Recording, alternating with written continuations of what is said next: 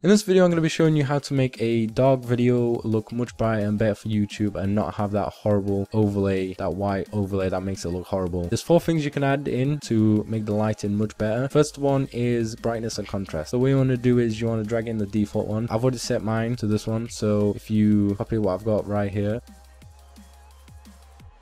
the next one you want to add in is you want to go down to levels and there should already be one as default set here add that in too so the order doesn't really matter, doesn't make much of a difference if you look. It does make it slightly more different. It'll probably be better if you put, put it that way like that. The next one you want to add in is called color curves. I've already made mine up, so uh, you want to drag in the default one. I've set mine to this. So if you can get yours to go like that, you drag these little corner things. The color curve and levels is the same as brightness. You could just turn up the brightness but these two make the video look much better and not have that white overlay.